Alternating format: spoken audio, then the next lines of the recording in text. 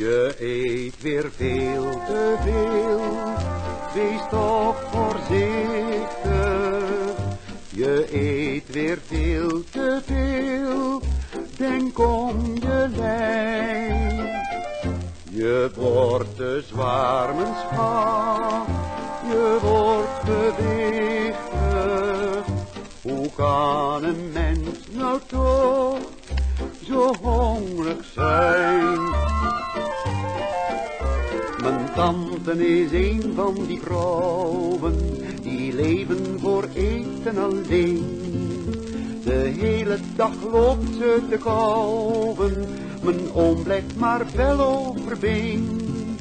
Des morgens dan eet ze tien broodjes, om elf uur zes taartjes met room. Om één uur weer twee carbonaatjes, en dan roept vertwijfeld mijn oom, je eet weer veel te veel, wees toch voorzichtig. Je eet weer veel te veel, denk om je lijn.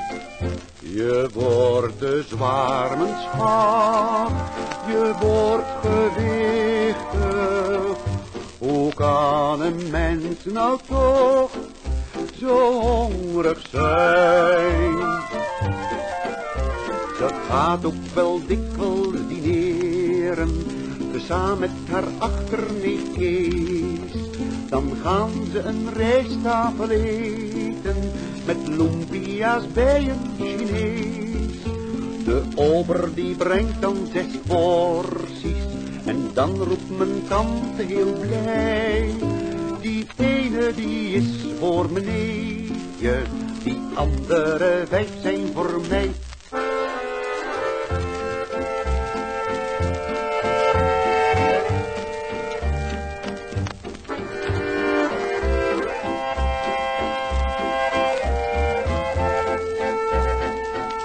Je wordt mijn schat, je wordt gewichtig.